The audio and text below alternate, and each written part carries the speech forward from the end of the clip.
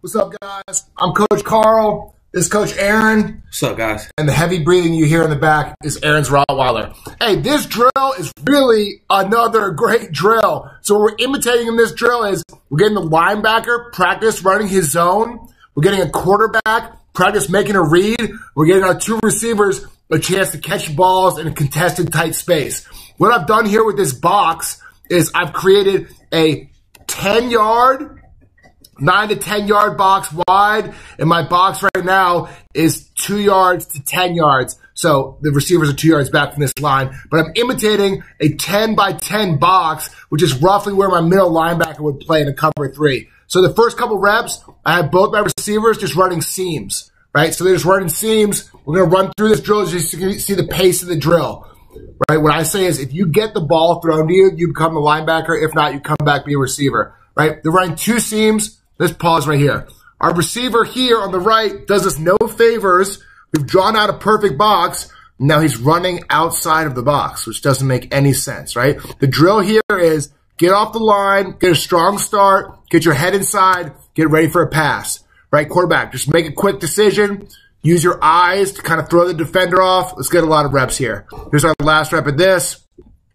After this, we're going to run a different route. So now we're running an in and a deep in. I'm standing back here as a coach and I'm telling the receivers, I'm pointing to who's running the in. So this person, if you're running an in, he's running a two yard in. He's getting in the box and running all the way across. This receiver is running a deep in or a dig, so he's running up to about eight yards and cutting across like this, right? My quarterback is just making a decision. We're high-lowing this Mike linebacker. I just want to repeat that for a second. We are high-lowing the Mike linebacker, which means somebody's going to run in front of him, somebody's going to run behind him. We're going to make him make a decision, and if we're doing this right as a quarterback, he'll always be wrong. All right, I pointed to the guy on the left. He's running a drag. Boom, we did it like that.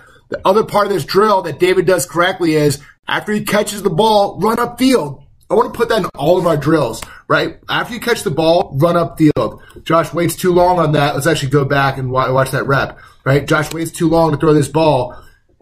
Here, we got an incoming. The linebacker bites on that. He probably should be throwing that deep. Also, when we run these drills, if you're this receiver, I don't want you to run out of the box. I want you to settle down. If you get to the boundary of the box, I want you to settle down there right? We settled down a little bit too early. Let's watch that, that receiver here. And like, hey, we're also human when we're running this drill. We're not running this drill perfectly. I want this receiver come all the way to the edge of this box and settle down. He stopped too soon, threw Josh's timing off. Let's see one more rep. Last thing for this drill is you can set up this box. Like, I really think that linebackers and our zone people need practice operating in space. You could do the same drill with a cornerback over here and two receivers right here right? But get your linebackers practice operating in space. You can do any routes. I think the, the, last route we did here is we are just running double hitches. Sorry, the camera's getting blown around with the wind. But we're just running double hitches. Strong get off, selling vertical as our wide receivers, right? And then the quarterback's just making a decision. This is especially a drill if you want to go back here, I just threw this linebacker out of the drill because he's walking into the drill. Guys, if people are walking into your drill, don't allow it to happen. This is a football field. We want to hustle around, right? So you can see my linebacker here, lollygagging into the drill.